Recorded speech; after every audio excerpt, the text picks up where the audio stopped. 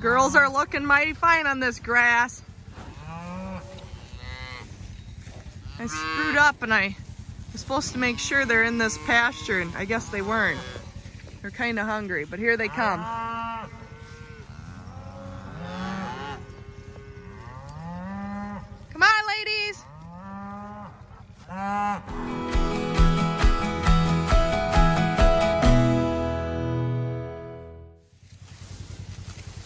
Look at her. She's got her happy lines on.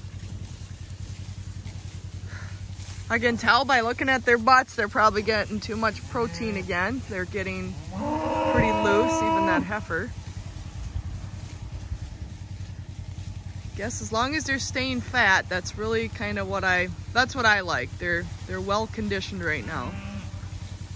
Another thing to look at is you can tell some of them that are the new ones like those two, they aren't losing their winter coats as fast.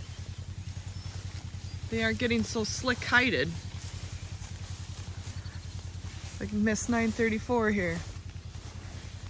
You've got your winter gear or winter gear off, don't you? Same with 16. Just something to watch for.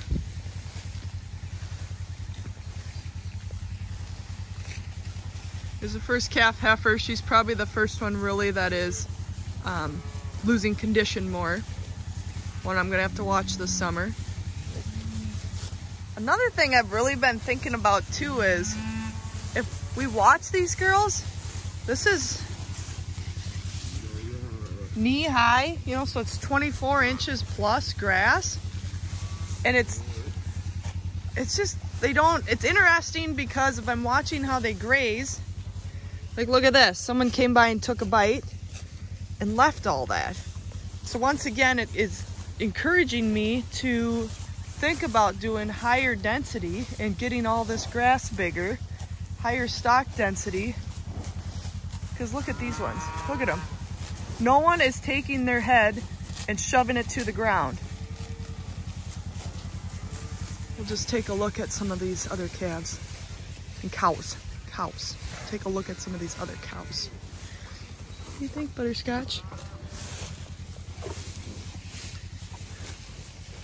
Like a little red. Both them cows. Just a, a, an interesting thing to maybe just note. I don't know where I'm going to apply that, but other than maybe density and trample, how they can pull them tops off like that. Like, look at them. They are just 954 is just like, I'm gonna eat as much of these tops before someone else does.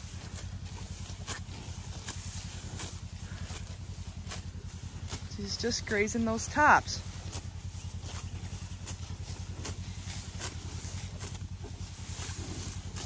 I don't know what it means.